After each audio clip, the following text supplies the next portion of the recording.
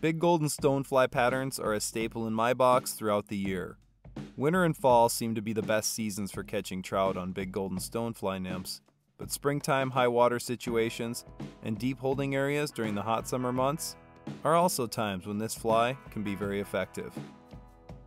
I start out with a Daiichi 1530 heavy wet fly hook in a size 8.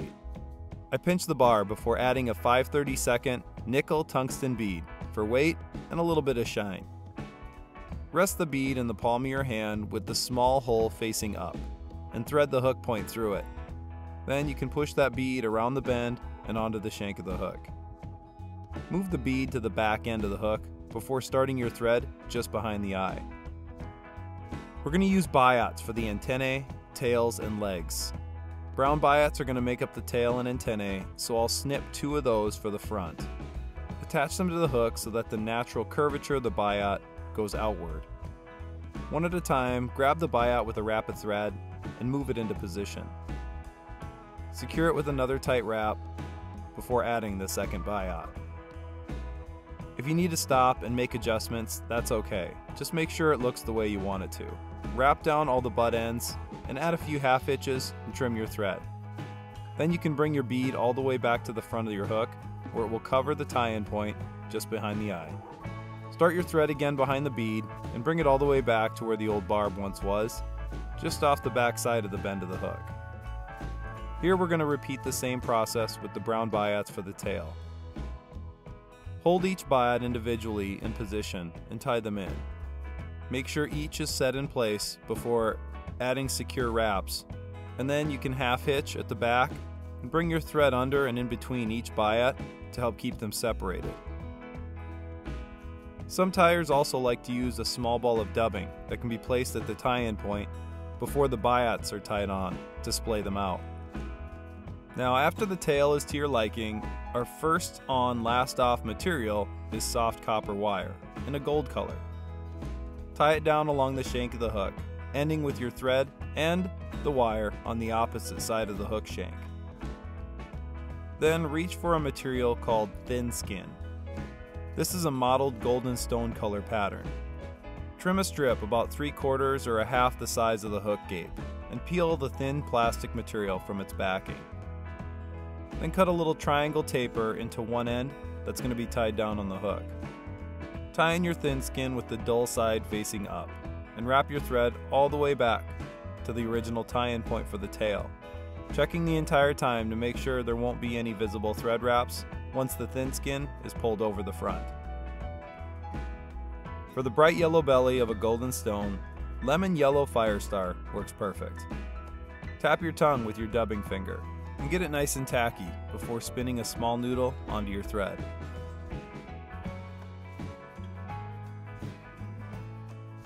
Wrap it about halfway up the hook before pulling your thin skin over the top. Now be sure to capture this thin skin with a loose wrap of thread. You just want to make sure that it lays back properly and doesn't get all bunched up on the hook.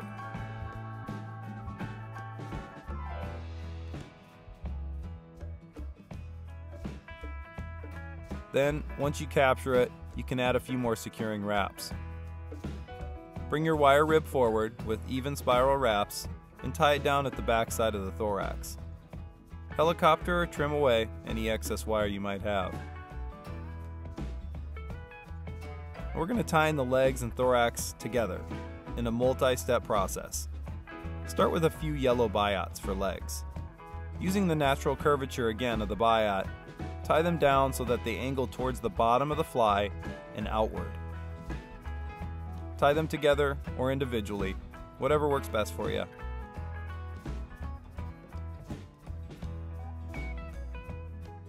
Once in their proper spot, trim and secure the butt ends. Then, we're going to start a dubbing loop to create the thorax. Pull out about 10 inches of thread from your bobbin and double it over one of the fingers from your offhand, coming back up to make a few wraps around the hook shank.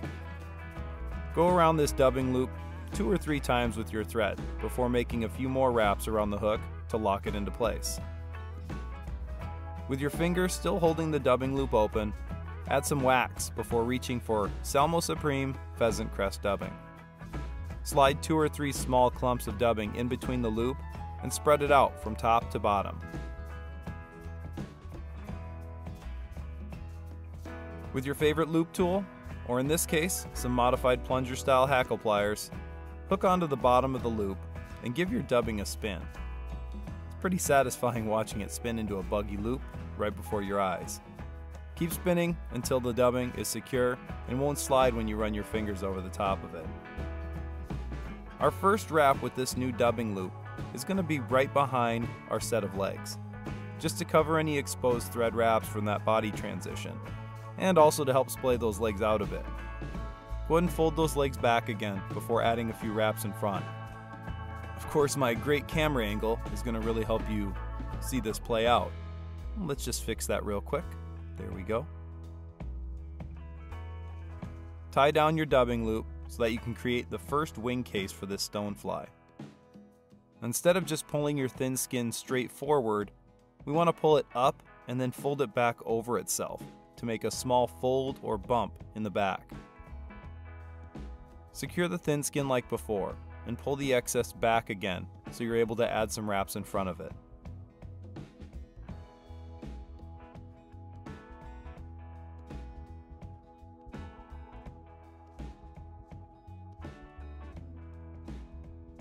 Grab two more yellow biots for one more set of legs.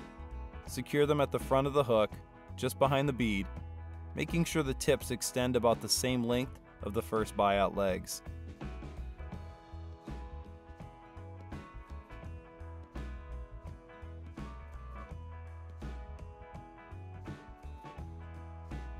With the remaining dubbing loop material, come behind and under the final set of legs and all the way up to behind the bead.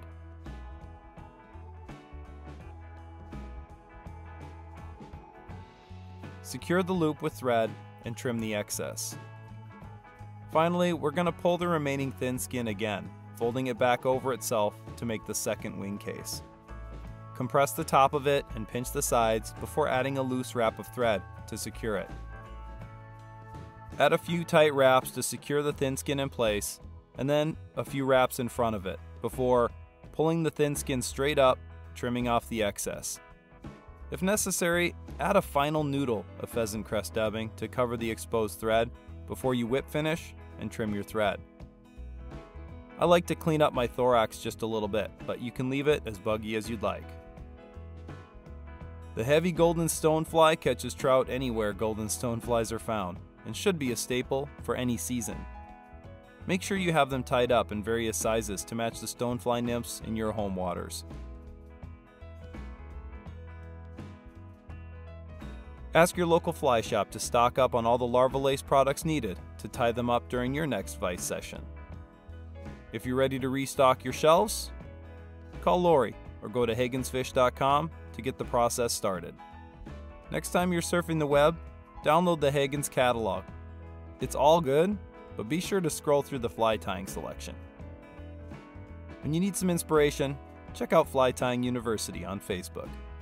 Whether you're a new tyer full of questions or a veteran with words of wisdom to pass on, Fly Tying University is a growing community for all fly tyers. Check it out. Larvalace is a proud partner of the Fish Stories Archive. Record a great angler today and keep their voice around forever at fishstories.org.